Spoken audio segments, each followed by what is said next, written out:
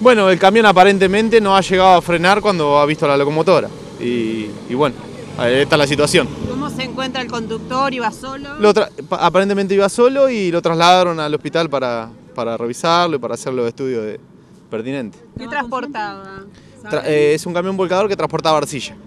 ¿Estaba consciente? Sí, estaba consciente, sí. Sí, sí. ¿Quién es el conductor? ¿Se sabe? El conductor es Leonel Alfredo ¿De qué empresa? ¿Qué empresa pertenece? y los camiones son de Gabriela Tapia.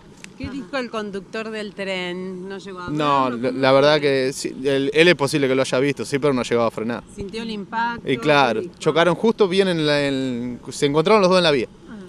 ¿Y el conductor qué dijo del camión? No, la ¿Pudieron verdad que no, no, estaba en shock, así que se lo llevó directamente a la ambulancia.